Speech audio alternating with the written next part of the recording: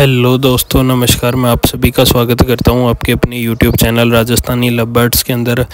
और उम्मीद करता हूँ कि आप सभी के बर्ड्स जो हैं ठीक ठाक होंगे और आप अच्छे तरीके से उनका गर्मियों के अंदर ध्यान रख रहे होंगे।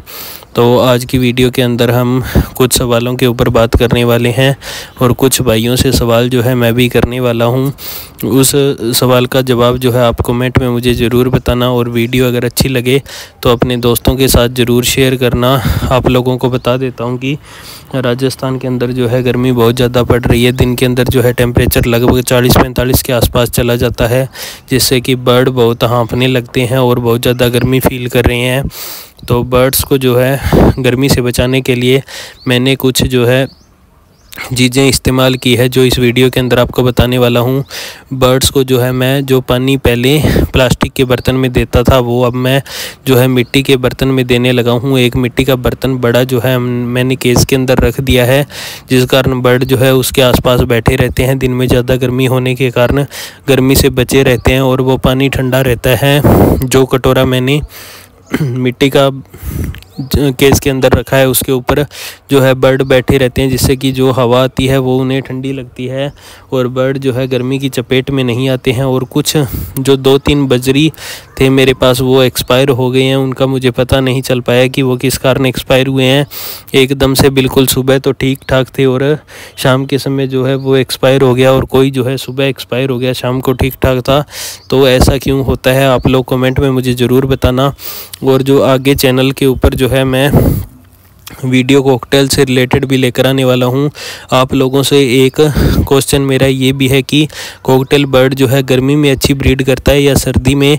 और किस मौसम में जो है कॉकटेल से ब्रीड लेनी चाहिए? और आप लोग इस बात को मुझे जो है कमेंट में ज़रूर बताना, जिससे कि मुझे इस चीज़ से आसानी हो सके कि मैं अपनी कॉकटेल से किस टाइम ब्रीड लूँ और किस टाइम वो अच्छी ब्रीड करेंगे और उनके लिए टेम्परेचर क्या होना चाहिए और उनका केज जो है फिक्स करना पड़ता है या कोई और जगह पर उनको जो है सेट करके रखना पड़ता है जिससे कि उन्हें जो है, ज़्यादा लोग उनके पास आए जाए ना, जिससे कि वो अच्छी ब्रीड करे। आप लोग कमेंट में ज़रूर बताना अगर आपको इस बारे में नॉलेज है तो क्योंकि अभी जो है कुछ भाइयों से मैंने जो है कॉन्टैक्ट किया तो उन्होंने मुझे बताया कि कोकटल की ब्रीड जो है गर्मियों में अच्छी होती है, सर्दियों के बजाय। तो आप लोग भी मुझे कमेंट में ज़रूर बताना जिस भाई के पास कोकटेल है, जो भाई कोकटेल की ब्रीड ले रहा है, वो कमेंट में ज़रूर मुझे बताना। और इंस्टाग्राम आईडी पर भी मैसेज करके मुझे जो है थोड़ा सुझाव देना कि मेरे को क्या करना चाहिए, गर्मी में कॉकटेल से ब्रीड लेनी चाहिए या नहीं। तो चलो, आगे आपको बताता हूँ कि आपको जो है बजिस को गर्मी से बचाने के लिए क्या करना है, अपने बर्ड्स को जो है ज़्यादा से ज़्यादा सॉफ्ट फ़ूड दें।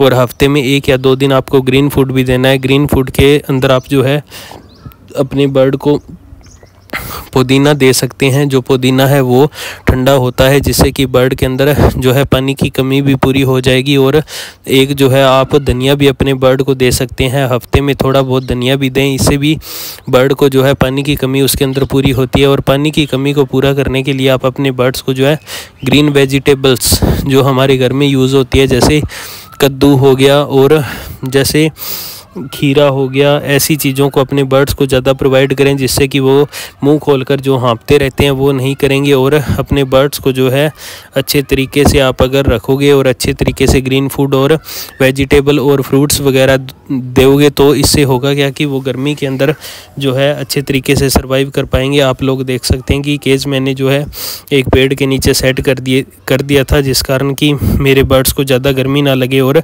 बर्ड जो है गर्मी में भी सर्वाइव कर दें, दिन में जो है, मैं इसके ऊपर एक चद्दर वगैरह लगा देता हूँ, जिससे कि सीधी धूप जो है केस के अंदर ना जाए और जो हवाएँ हैं वो भी गर्म केस के अंदर ना जाए। तो आप लोग कमेंट में ज़रूर बताना कि केस यहाँ पर सही है या नहीं, और जो बजिज मरे हैं, उनका कारण भी मुझे नहीं पता चला है। तो किसी भाई के साथ ऐसा हो रहा है या कुछ ऐसी प्रॉब्लम आ रही है तो वो कमेंट में या मैसेज करके इंस्टाग्राम पर ज़रूर बताना, क्योंकि मैं भी आगे जो है इसका सोल्यूशन ढूँढने वाला हूँ, और आपके लिए भी जल्दी से वीडियो लेकर आऊँगा। और कोकटेल वाला भाई मेरे से जो है ज़रूर कॉन्टैक्ट करें इंस्टाग्राम पर, कि मुझे ब्रीड कब लेनी चाहिए और कब नहीं।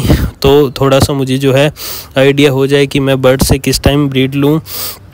और जो है आप अपने बर्ड्स को जो है इस टाइम बाजरा कम यूज़ करवाएँ, कंगनी दाना जो है वो दें या रोटी दें। रोटी भिगो कर रोटी हफ़्ते के अंदर आपको एक या दो दिन जो है रोटी ज़रूर देनी है, जिससे कि बर्ड के अंदर जो है ज़्यादा बर्ड को गर्मी ना लगे और वो गर्मी को झेल सके।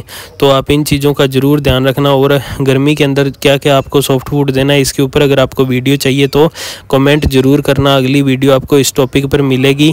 तो चलो वीडियो को करते हैं ख़त्म। अगर वीडियो अच्छी लगी है तो वीडियो को शेयर करना और ज़्यादा से ज़्यादा अपने दोस्तों के साथ जो है इसको साझा करना, जिससे कि हमारा चैनल जो है थोड़ा बड़ा हो सके, कुछ ज़्यादा भाई जो है हमारे साथ जुड़ सकें, जिनसे कि उनके पास जो नॉलेज है उसको जोड़कर और कुछ नॉलेज हमारा जोड़कर एक अच्छी वीडियो आपके लिए तैयार हो सके। धन्यवाद।